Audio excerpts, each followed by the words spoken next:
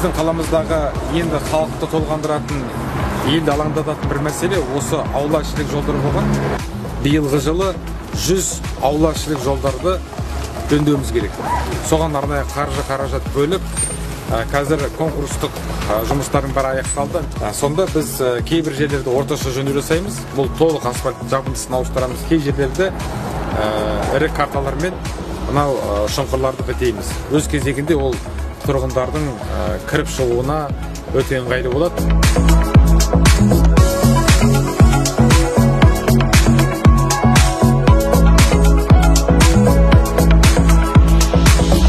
А, Одним из важных проблем, которые постоянно поднимают э, люди, это дворовые проезды. Поэтому мы по городу приняли такую э, план, программу 100 дворовых проездов, выделили средства специальные. Сейчас конкурсные процедуры завершены, определен подрядная организация. У него есть несколько субподрядных организаций.